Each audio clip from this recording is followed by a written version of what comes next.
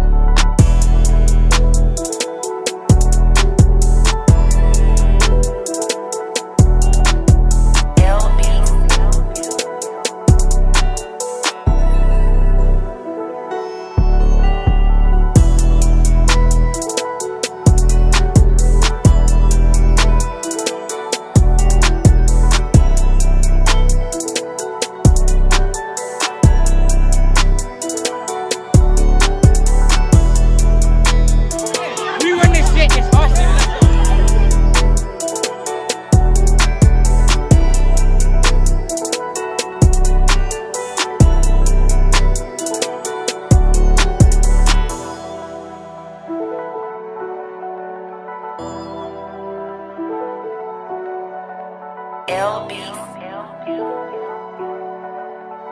man. Hey, we just got to come out and execute and do our job. We knew it was going to be a tough competition. They always play us tough, but at the end of the day, our boys wanted it more. What's up, man?